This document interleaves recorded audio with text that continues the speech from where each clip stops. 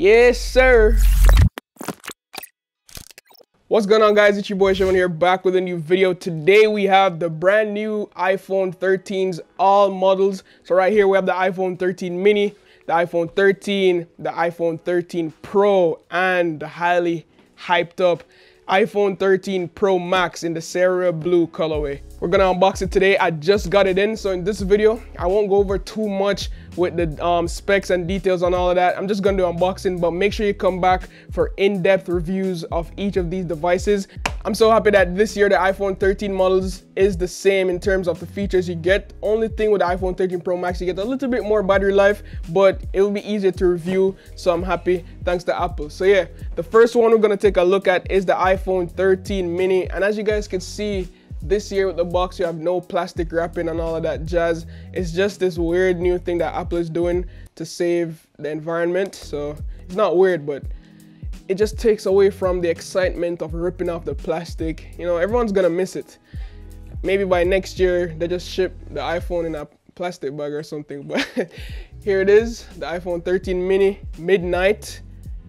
Boom. So this is what everyone would call black, but it's like a deep you know what, it looks like outside when it's midnight? You could still see a couple blues in the sky. So it has some blues in there. I could see it, of course.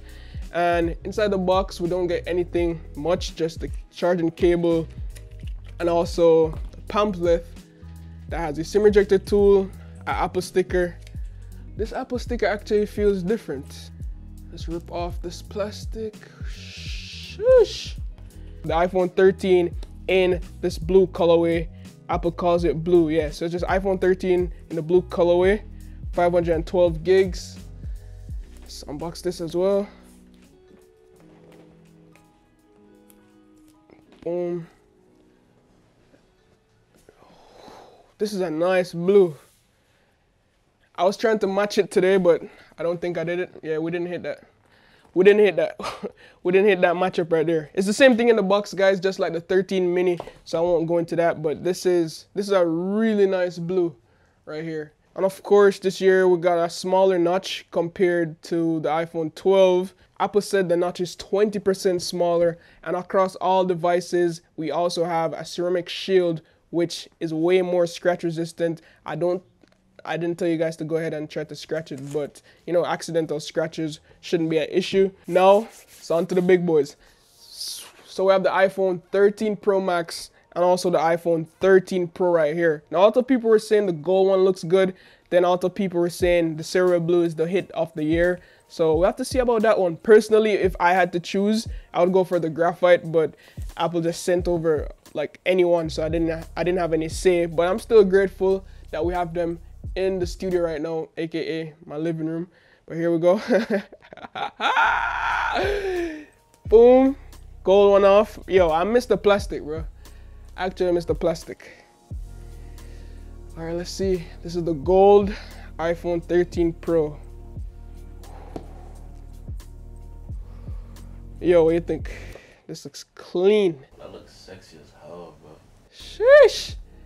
Nah, that's that's clean. I think it looks almost like last year's, but I don't know. The gold one always just looks like jewelry, man. Let's take rip this off. Yeah, the gold one. Like if you guys get the gold one, don't worry, it's clean. But one thing I could say this year, guys, the camera lens is massive. Let's compare it real quick to my iPhone 12 Pro right here. So these are the two Pro models, and you guys can see how huge this camera lenses.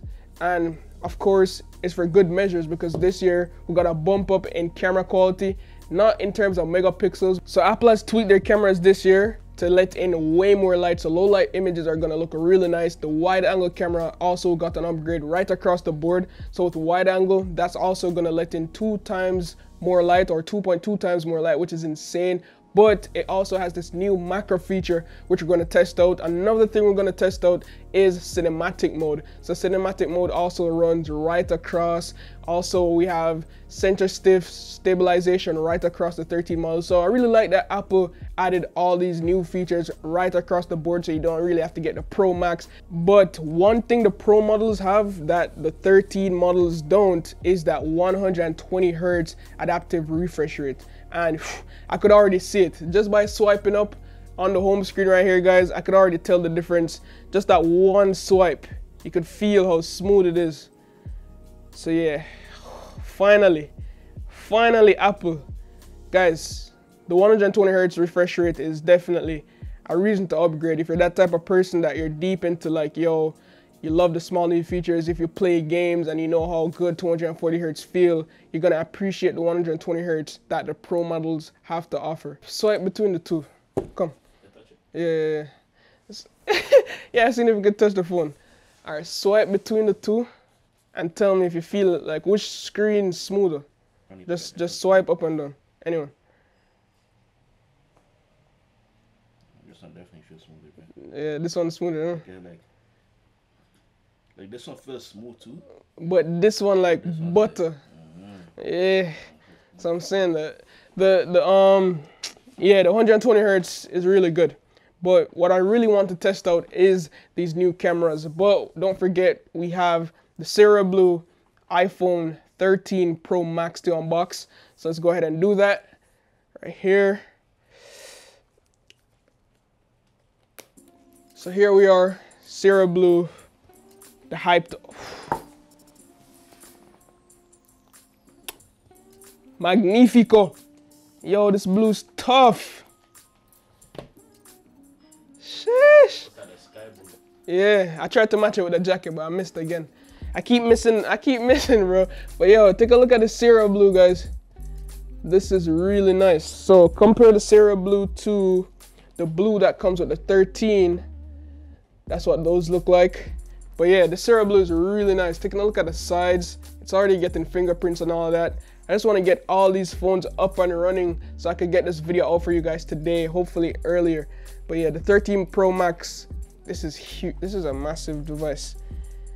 I still like the 13 Pro more. The 13 Pro Max is huge. 6.7 inch display with the 13 Pro Max. The 13 Pro, same as last year, 6.1 inch display. But one thing I could say is they actually feel a little bit heavier. I know that the 13 Pro this year is a little bit thicker than last year's iPhone 12 Pro, and I could definitely feel it in terms of the weight.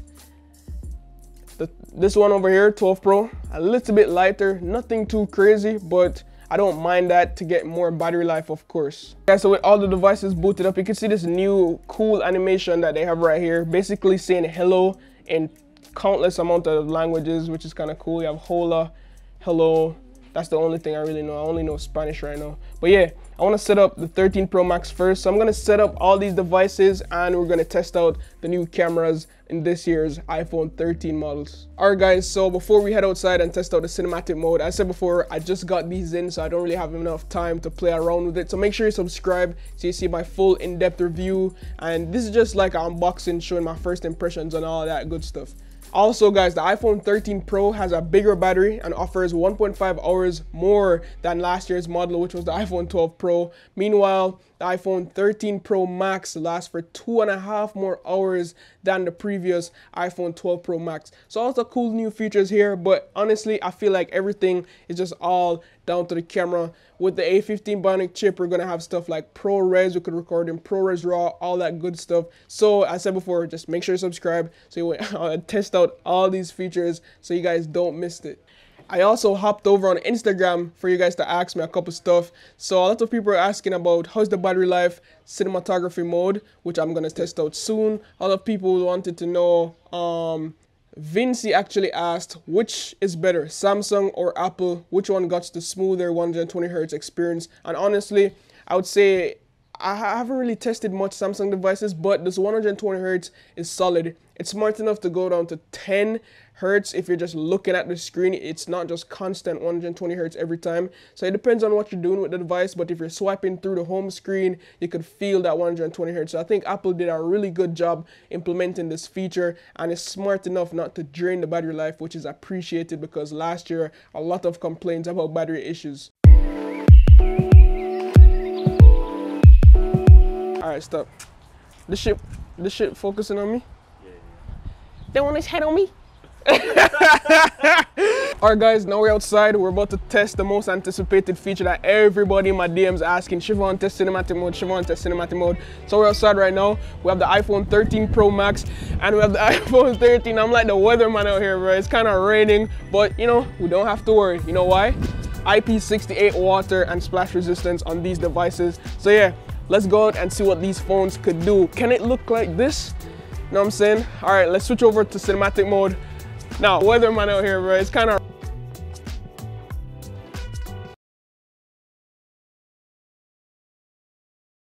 on these devices.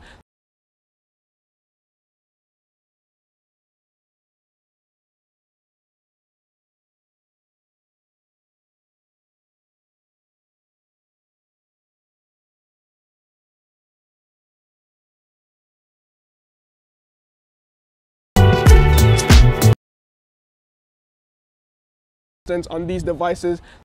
So as I mentioned earlier guys, we do get macro mode with the ultra wide camera on the iPhone 13. So we're gonna test that out right now to see what it looks like. A couple plants right here. Just gonna get a close-up shot to see. And of course the ultra wide camera in it of itself also looks amazing. Boom, I wish I could show you guys night shots, but this video is gonna go up way before. Okay, so the way how Apple implemented the macro shots is that you can't really enable a feature called macro. As soon as you get close enough, you can see it switch to the wide angle lens and it could get up to two centimeters for some awesome shots. Let's take that one right there. Let's get close up to this coal right here. I'm really close to this right now, guys. And it also works in video. So macro mode in video as well. Look how cool that is. I can see all the grains on this thing. I don't even know what this is. Alright guys, now that wraps up today's video. Let me know what you think about the brand new iPhone 13 models. I think they're super fun, especially in the camera department. There's tons of new features, photographic styles, you have cinematic mode, the new ultra wide camera with the macro lens, all that good stuff. So yeah, if you guys don't want to miss this extensive review, I'll be covering all the devices. Drop down below some comments of what you want to see me test or put these devices up against. As always guys, love, peace, and tweaks. Signing out.